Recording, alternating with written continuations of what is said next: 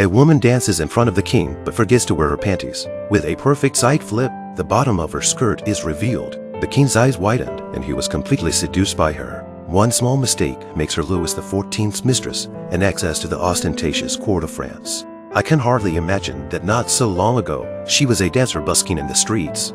Marquise was born into the poor lower class. Her father raised her to be a dancer who earned money from her seductive body. Her sensual dances drew lines of old men to watch her every day. One day, the famous playwright Moliere passed by with his troupe. He was attracted by Marquise's beautiful dance and stopped for her. Soon the rain began to fall and the crowd dispersed. Marquise continues to dance in the splashing rain. Her thin dress is soaked to the skin and her exquisite figure becomes even more attractive. From her ambitious eyes, it is clear that she was not born for this place. Only the dramatist Moliere and the comedian Rene remained to watch her in the rain. Rene expressed his love for Marquise and promised to take her to Paris and put her on a bigger stage.